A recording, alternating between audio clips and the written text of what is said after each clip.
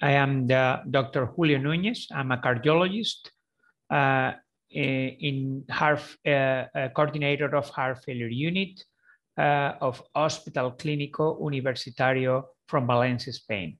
I'm also a full professor of the Department of Medicine of University of Valencia.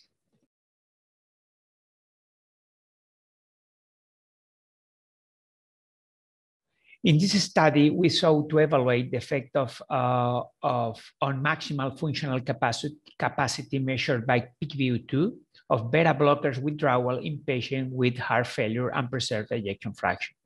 Undocumented established chronotropic incompetence, that is a, a blunted heart rate, heart rate response to exercise. This was an independent crossover randomized clinical trial performed in two centers in Spain. The primary endpoint was short-term change in peak VO2 and percent predicted peak VO2. Secondary endpoints included change in quality of life, biomarkers, and left ventricular diastolic parameters.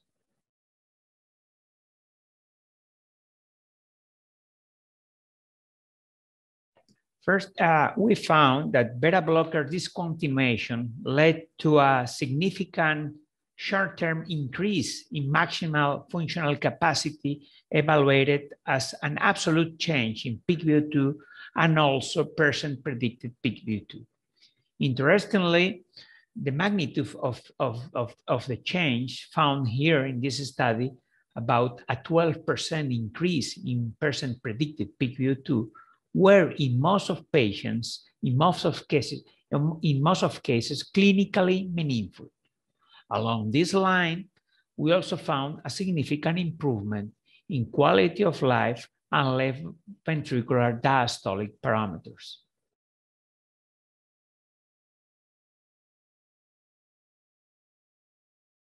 First, um, this study confirms that uh, chronotropic incompetence, uh, blunted heart rate response to exercise, may be, may be playing a crucial role in the pathophysiology of effort intolerance in some uh, in, in some of, of half, half patients. No?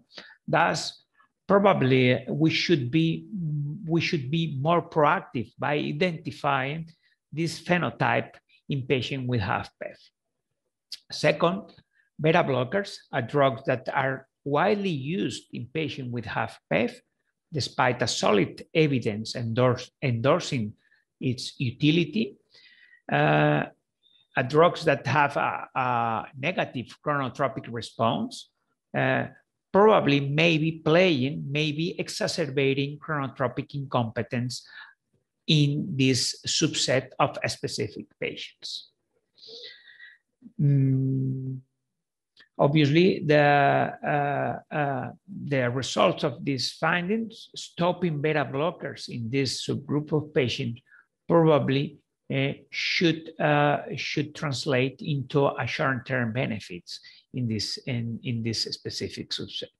Of course, this is a, a, a small clinical trial performed in two centers, uh, performed in a, in a short-term frame, um, obviously, we need we need to confirm these studies in in these findings in in larger studies and probably in an extended follow up.